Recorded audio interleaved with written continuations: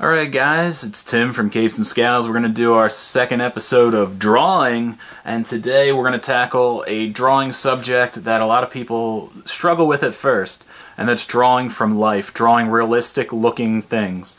Um, I, hello, I like to uh, draw people when they're sitting around watching TV. Um, I like to, I, I, think the most important thing you could do is uh, draw from photographs. I think that's a good way to learn uh, the human body and where it goes and how the whole shape thing breaks down. So today, what we're going to do is we're going to draw one of my favorite wrestlers of all time from this photograph because I just met the guy and he was amazing. Jushin Thunder Liger from ROH and New Japan Wrestling. He is 52, I believe, and he still goes better than some of the young guys. So that's what we're going to do. We're going to draw that based off of this photo. So, I know what you're saying. It's a good, realistic idea, but when you look at this photo of him, you don't see eyes, you don't, you barely see his mouth. But I think that's good for this starting exercise, because as you can see, you're going to draw the circle of the head, you're going to draw the outline of the body, the fist, everything. This is basic in a way. Sure, it's got ornate details, but don't worry about that. We're going to get through it. So, Let's see here. What's the best way to do this so you can see it? There probably isn't one. uh, yeah. Alright, we're going to draw it. We're going to see what happens. It's worth pointing out today, our drawing is sponsored by Starfall Webcomic, which you can find at Starfall Comic on Twitter, and KB Photography, which you can find at KBIZZL311. So check them out for all your photography needs. Also, capesandscowlspodcast.com, and you can find us on Patreon. Give us a dollar. We'll love you forever. That's all it costs for our undying love. So, to start this drawing, and I'm going to keep bringing it in occasionally here, okay? What we're going to do, we're going to. I, I always prefer to start with the head and work my way out. So I'm going to draw a basic circle. And the way his head is, is you're kind of focused on the mask, but there's also, his head's actually bigger because of the hair. So what you may want to do is just kind of keep in mind that there's this extra area around his head. Okay? Now we're going to come down with the neck, his chest, and this is probably really light, but that's okay. He has his fist here. See, it's a circle. His other fist is about here, right? And like I said, we're not committed to any of these lines yet. It's just circles and rectangles at this point, right? Yeah, you got a shoulder up here. That's a circle. Connect it there. He's kind of got his back showing here, his shoulder back area. You've got kind of that, even though you can't see it, that's where that would be come down here. We got more circular kind of shapes to get that in there. This would be another circle, right, like that. We're just going to kind of do a basic chest area for now. Um, he's got his belt about here. Little bit of an ass showing, right, right, right. Not just flat, people. Right? And there you go. This is your your basic figure here. So, there you go. Alright? Give you an idea? Right? Okay, so let's keep going. Um, I'm going to do the head now. We're kind of going to breeze through this, so try to pick out what you can. The eyes are normally towards the center. Normally an eye would be probably like in this area, but because of the way his mask is, his eyes actually take up a huge chunk. But what you keep in mind is somebody's face is roughly five eyes wide. But this is angled a bit, so don't be fooled by that. You kind of have to adjust. So this would be smaller, this would be a little bigger, but it's not a big deal. So if we were to put his actual face in, it would loosely be this, okay? So what we know from the picture is his chin is going to end about here, right?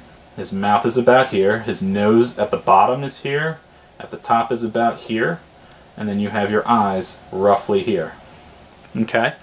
So we're going to turn that into this. Here we go. So we're going to start with the eye.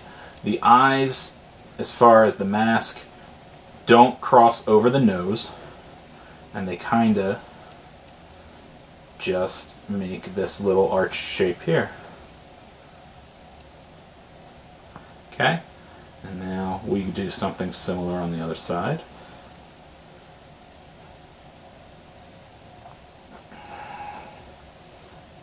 Okay, see I've already made mistakes. It's okay to make mistakes. And if you look at the photo, you'll see that this part here is all the way to the edge. So this eye is going to end pretty much at the edge there. So if we're paying attention, which I'm trying my darndest to do, it would be pretty bad to say draw from life and then don't look at the damn picture. So if you take a gander, we have the basic idea here.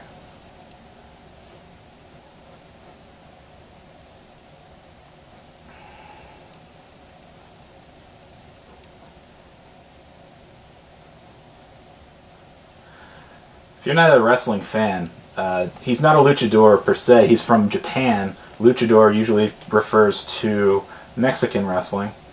Um, but, I mean, it's a similar style. Mexico and Japan have some similarities. A lot of the wrestlers, you know, go to both. We have these uh, spike doodads. Now, the nose comes into a spike at the tip here and goes back into the eyes. You guys see what I'm doing here? Right? Come on up. Now, these go above the mask line for his head, where his head actually would be. And like I said, none of this is quite exact yet, you're going to work on it. But you kind of got to see like that It needs to be more in the center. So this should probably actually be a little more over here. Right, we'll fix that with the eraser. Mm -hmm. You guys want me to draw specific things, feel free to let me know. I am on Twitter at mad underscore dog underscore Tim. Okay, so that is roughly the top part there. Now we get into this intricate part on his mask up at the top.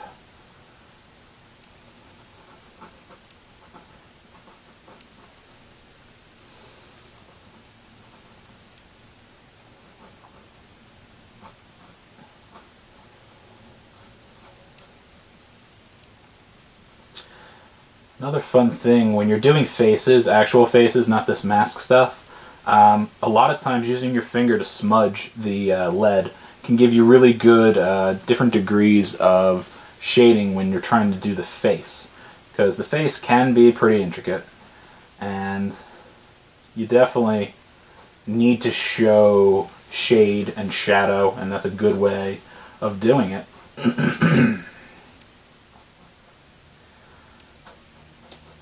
Okay, so we are we are on our way here.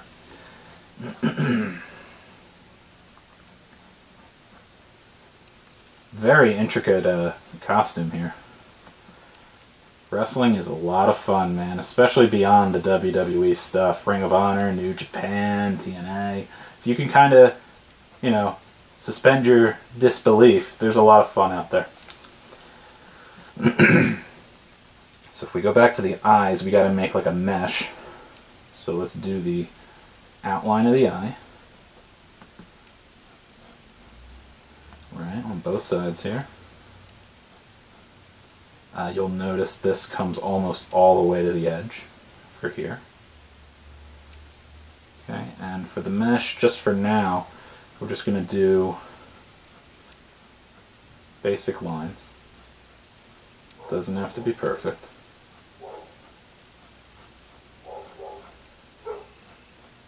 I got dogs barking. It's always dogs barking. That's why we don't record here too often. That's okay. You gotta do what you gotta do, right? And, you know, these aren't exact. They look pretty good. They're pretty well distanced. Gives you an idea, right? You'll get better at these things the more you do it. You'll just be making lines all day long.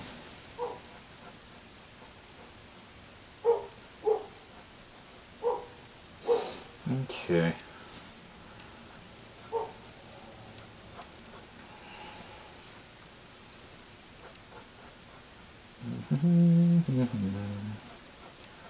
If you guys like this, when it's all said and done, which I hope you do, there's a specific wrestler. Actually screwed that up because of his signature on that picture. There's a specific res- wrestler you want me to try, and we can do more photorealistic stuff later on. Let me know. I am more than willing. Now, a big thing with the mask is to keep it relatively in line. They're gonna be, if you were wearing this mask, it would be pretty even on your face. Um, these things are made to move with him when he wrestles. So, you know, this pointing one direction off his face and this kind of flopping forward is not, you know, an impossibility. So keep that in mind as well. Kind of even that off a bit. And this goes to here, underneath, kind of comes around like so.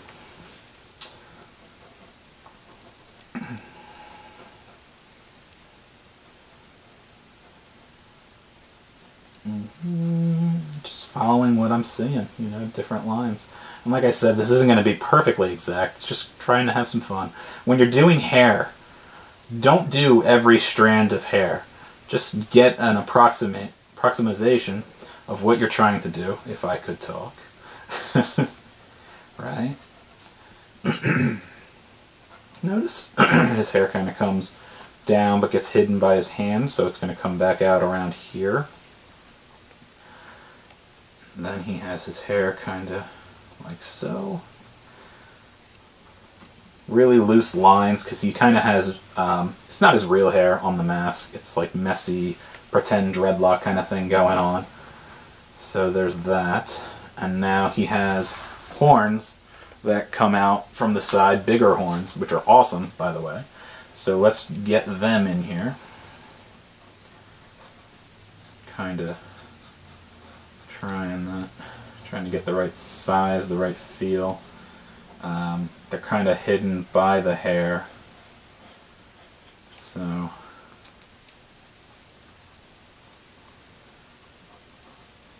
and Jushin Liger's been around for years. Like I said, uh, he's wrestled for WCW. He's wrestled for WWE. Um, he wrestled at NXT kind of recent. He's been at Ring of Honor for a while now. Uh, he's wrestled. He wrestles for New Japan. He's been part of Super J Cup. He's been part of everything. If you can do it in wrestling, he's done it. Except maybe be the world heavyweight champion here in America. But he's one of the few, back in the day at least, that were from another country and really made a big important splash here in America. Kind of taking a little too many liberties in this. It's not as photorealistic as I would have liked. But you can see like now I can kind of adjust that now that I have the horn in. I don't think anybody's going to beat you up if it's not perfect. This is going to be a little tough because he actually signed over this horn when I met him. Sweet guy, by the way. So I'm going to kind of guess this because I actually can't see part of it. And like I said, I, I would recommend that you work photorealistic. You know, um, don't be afraid to draw over lines. Draw light, but you got to be able to see it at the same time. So right now, this looks pretty different in a way. but you can also see that I have a lot of the correct spacing for everything. And when I add color and shading and everything else, it should get pretty close. Um, and these things will look cool when I do shading. Maybe I'll save that for a different lesson so I can show you how to make it actually look like this, despite it not being, you know, the right colors and everything. So we're pretty close for the hands. Some people have a real hard time with hands. Don't worry about that. We're going to take our time with hands. You know, you got to kind of just work to your strengths. Don't worry about it. You'll get there. Keep it very basic for now. Right? Thumb underneath. He kind of has a little bit of his wrist shown. And then a lot more of his hand underneath. It's the angle of it. It kind of looks weird now. Trust me, it's fine.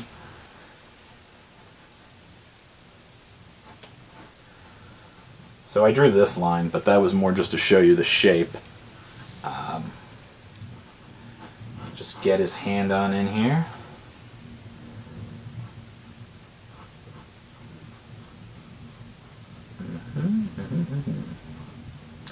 Um, if you want to talk wrestling with me, I'm always available, like I said, at mad underscore dog underscore Tim. Um, I have such an eclectic mix of favorite wrestlers uh, depending on what we're talking about, you know, what era of wrestling.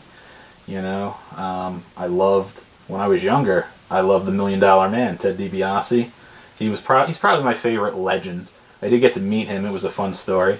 Met him with my son, who I used to have a replica of the Million Dollar Bell. Not a fancy one, but like a kid's one that was everywhere. Uh, when I was a single man, it was up on the fridge, kind of like a shrine, because why not? And uh, I gave it to my son, and my wife eventually gave it away, donated it, whatever she did, because she's evil. And uh, when we met him, he's like, "Hey, do you remember that belt? We had the belt because he had the belt with him." I'm like, "Yeah, I remember the belt. I love that belt." He's like, "Yeah, you love that belt." I go, "Yeah, yeah, I love that belt." He's like, "Yeah, mom threw it away. You were so mad." I go, "Yeah, I was mad." the whole time, the Million Dollar Man's kind of chuckling at us. Although he's uh, he's a pastor, he's not a very. It's funny. He's um, he's not this weird heel that everybody would imagine him to be. Uh, he's actually a sweetheart of a man as well. So most most of them are. I mean, I've met a handful of wrestlers. I, I'm not gonna say I've been blessed to meet too many of them, but you know, I've met a lot of the guys I want to meet, and uh, most of them are just really thankful to be able to make a living wrestling. Especially, and you know what's interesting is a lot of people are like, "Oh, you're not in the WWE, you're not going to make it." Isn't true anymore, um, the WWE is not the end all be all. I mean, yes, TNA has money issues, but uh, Ring of Honor does really well, New Japan does really well. You can do a bunch of indie bookings and make a slew of money. So, not that money is everything, but money is important. And if you're putting your body on the line and you know you're deteriorating your health and whatnot, you should probably get paid for it. Alright, so we have a circle here in the center for his kind of, uh, he has a, a design on his chest. Hmm. Try to do this as best I can.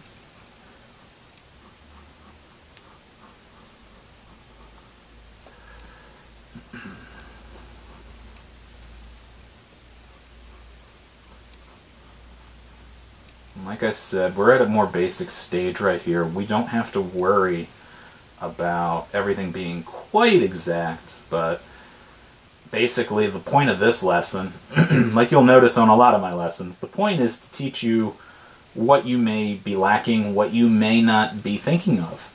I've watched so many drawing videos from people who maybe I draw better than them. Maybe I actually do, but you know what? The way they think about things really uh, helps a lot on what I'm doing. And then I become a much better drawer as well. Much better artist. Drawer. I'm a better drawer.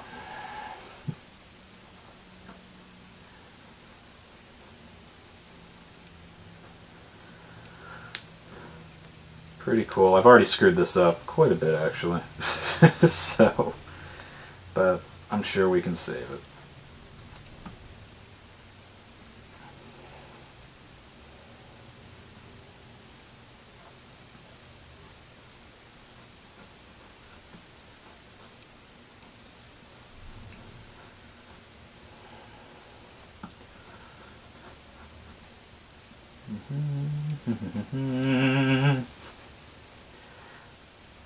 yeah, so let me know if there's other, if you like this and you want me to do other luchadors or whatever, I, I'm more than willing to. I love wrestling.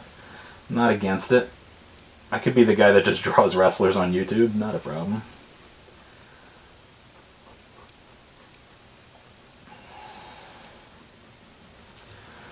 I think one of my favorite uh, Mexican luchadors uh, always was um, Psychosis.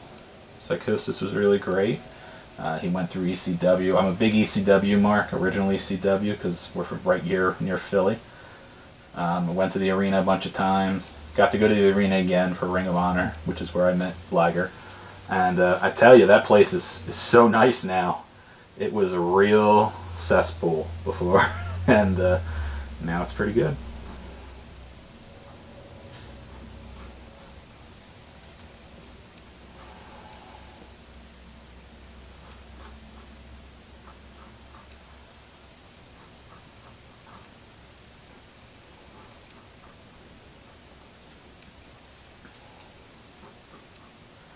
Um, I really enjoyed Ultimo Dragon when he was around. I know people got to see him a little bit later in his career in WWE. Uh, his WCW stuff was so good. His feud with Malenko was was top notch. Dean Malenko doesn't get enough credit pretty much ever. Dean Malenko was amazing, but as far as talking luchadors, uh, I loved him. He was great.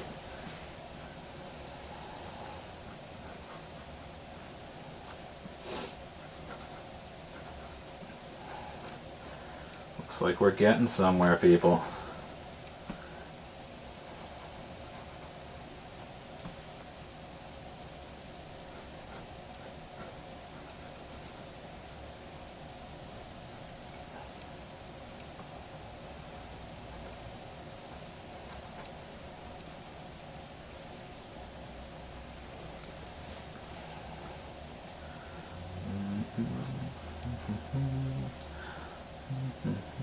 Sure that needs to come more over here.